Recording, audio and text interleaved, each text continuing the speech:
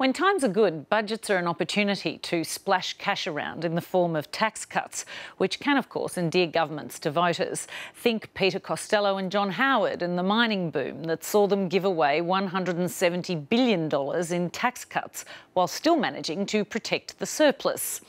Well, that was then, and this is now. We haven't seen a surplus at the federal level in 10 years. The government is in debt, which, even with today's forecast of a slight improvement, is still at around $583 billion. But even in times like these, savvy politicians can give handouts if they can convince us all that doing so will shore up the economy, which flows on to jobs and higher wages.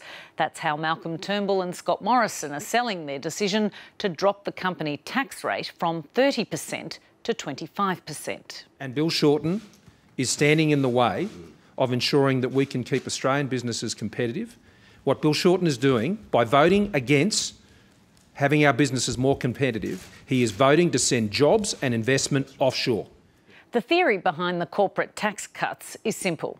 Give a business more money and it'll put more people on the payroll and give existing workers a pay rise. But if that were true in practice, how do we explain this? Banks are reporting bumper profits while also cutting their workforces. The NAB's earnings up 2.5% to $6.6 billion, but 6,000 jobs to be cut. So much for business passing on increased profits to their staff. Even if you take banks out of the equation, profit growth across corporate Australia has been strong.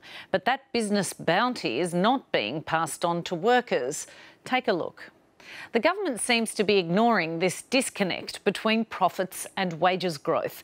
Since the peak of the commodities boom in 2011 12, profit margins have risen to levels not seen since the early 2000s. But wages growth has continued to slow. As the Reserve Bank points out, we're experiencing the slowest wages growth since the 1960s. But while giving business a tax cut will improve their bottom line, there's no real evidence it leads to higher wages. Wages growth, or rather the lack of it, is a big concern in the US too. Donald Trump is cranky because companies in America are paying much more in tax than, say, Ireland, where the rate is just 12.5%. The president argues that lower taxes are luring American investment and jobs overseas. The White House says dropping the US corporate tax rate from 35 to 20% should fix everything. Here's Donald Trump's chief economist, Kevin Hassett. You know, if we go down to 20%, then they're going to bring that activity back here, increase the demand for workers here, and drive up wages as well. The White House claims lower corporate taxes will lift wages for the average worker by between four and $9,000 a year. The problem is there's no credible evidence that that will be the case. In fact, the opposite has been true, clear from this graph. Between 2006 and 2013, while British businesses were paying less and less in tax, wages went down, not up. Over the past four years, they have started to grow, but at a much slower rate than in the United States, where corporate tax rates have remained high. Regardless of the facts, Malcolm Turnbull, like Donald Trump, is adamant Australia will suffer if company taxes aren't urgently reduced. If we don't reduce our corporate rate to 25% as planned uh, in our corporate and our enterprise tax plan over the coming decade, the only advanced nations that will exceed Australia's tax rate are Japan and Malta. The Australian business community is throwing everything at their campaign to convince the Parliament to pass $65 billion worth of company tax cuts over the next 10 years.